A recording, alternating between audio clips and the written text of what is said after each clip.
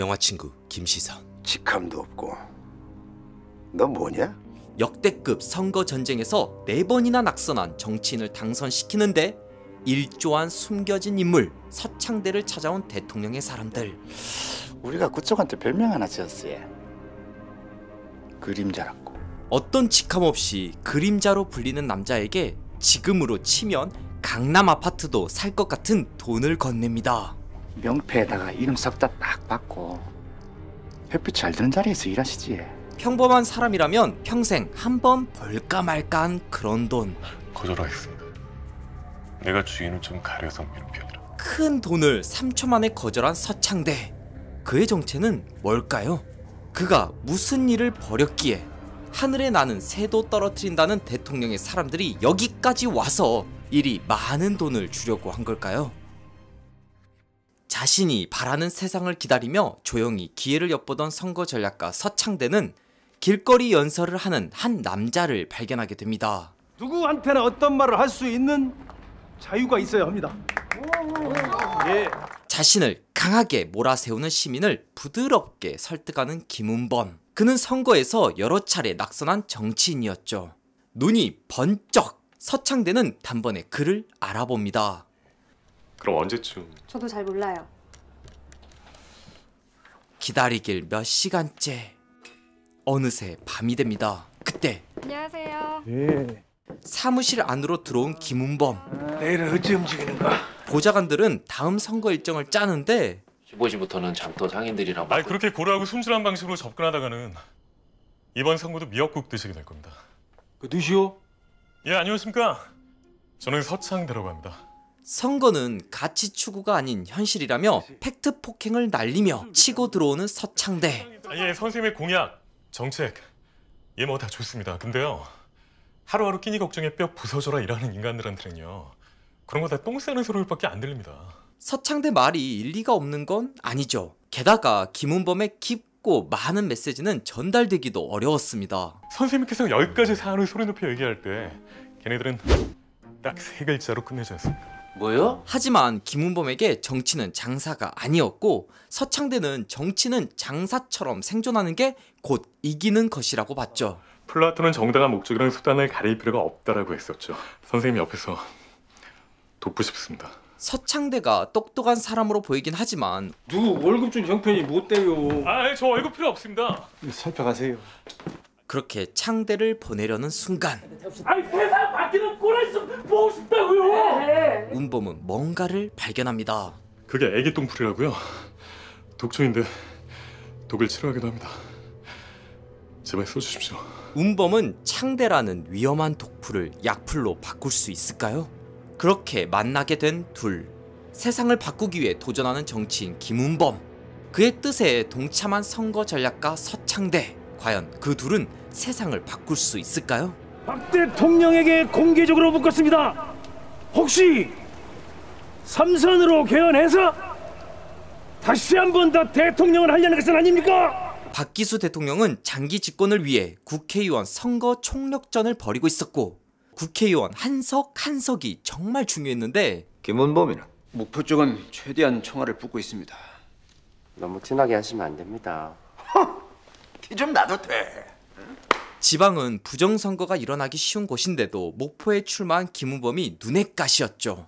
지역구 2선 애송이 하나 찍어내는데 너무 힘쓰면 국민들 보기에도 우리 모양새가 떨어질까 막 우려가 됩니다. 김은범을 예송이라 생각하는 부하와 달리 박 대통령은 김은범이 총은 없지만 다른 무기를 가진 사람이라 생각했습니다. 김은범이 걔는 무엇보다 크, 이 말이 너무 많아요 동료 정치인을 지키기 위해 무려 5시간 19분 동안 필리버스터를 한 사람이니까요.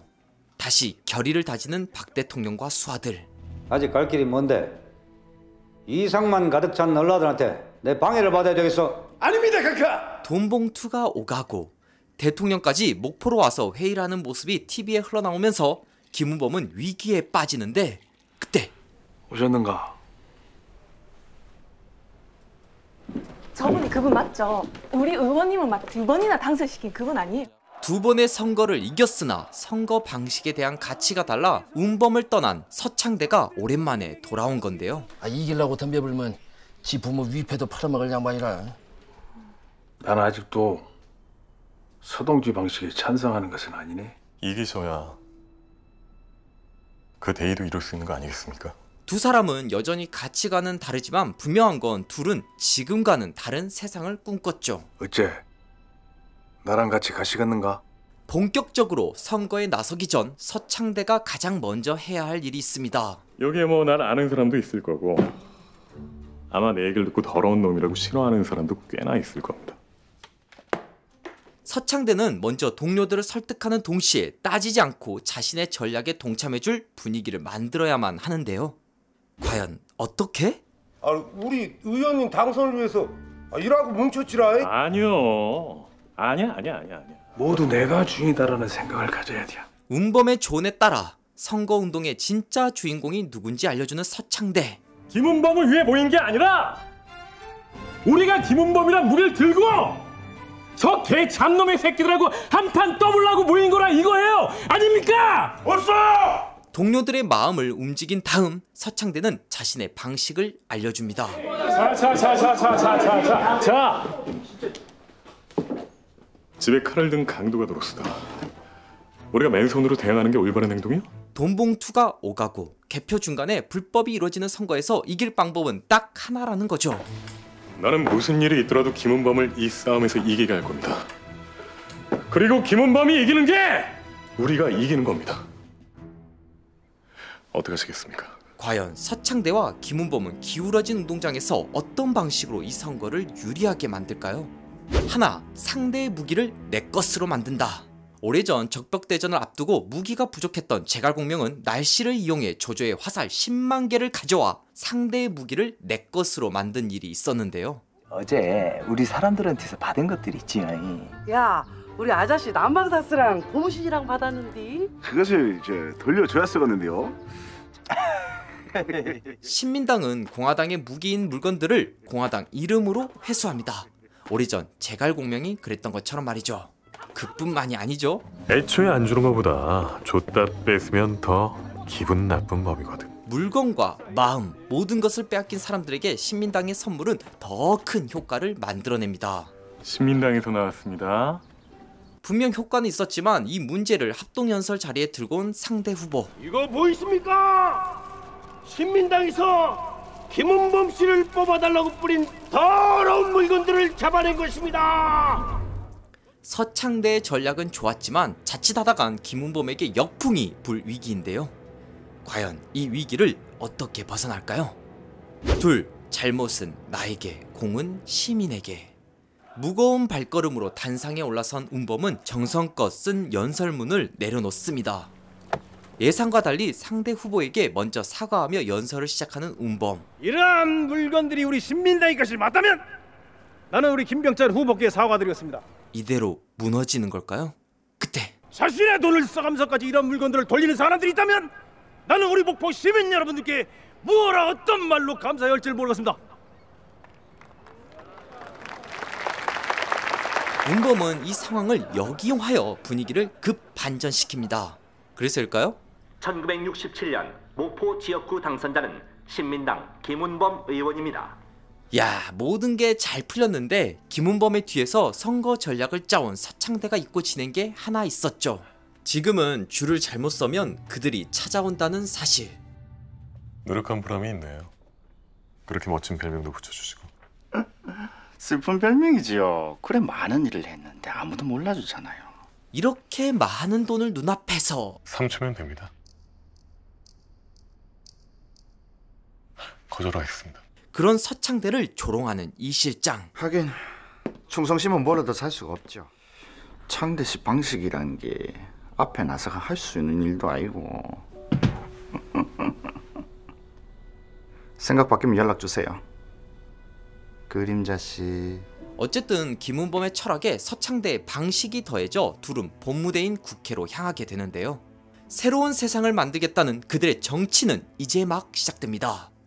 당시 정치판에서 야당인 신민당은 강인산 총재를 중심으로 젊은 국회의원들이 주변에 있었는데 우리 젊은 40대 사람들끼리 나와가 고마 쉐리 한마 바꿔 보입시다.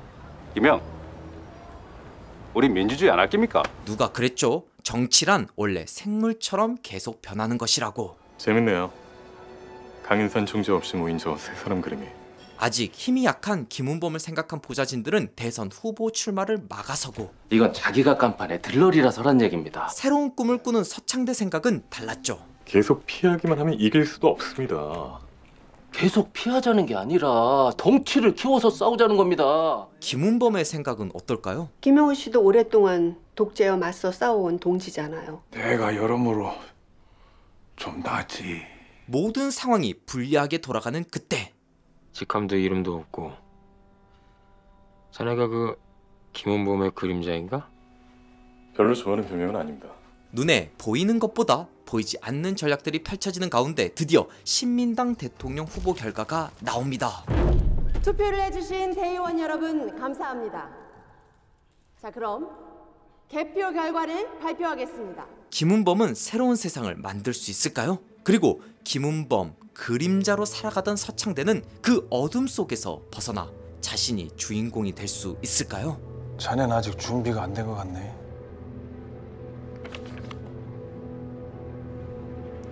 오늘 소개한 작품은 세상을 바꾸기 위해 도전하는 정치인 김운범과 숨겨진 선거 전략가 서창대가 치열한 선거판에 도전하는 이야기를 담은 영화 킹메이커입니다.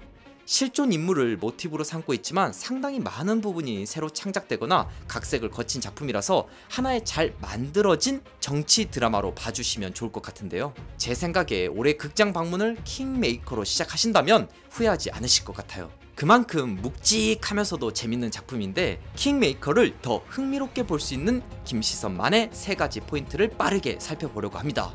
하나, 이게 실화라고? 킹메이커의 주축이 되는 두 인물 김은범과 서창대 모두 실존 인물을 바탕으로 각색된 인물인데요. 먼저 신념을 지키려는 정치인 김은범은 대한민국 제15대 대통령이 된 김대중을 모티브로 하고 있습니다.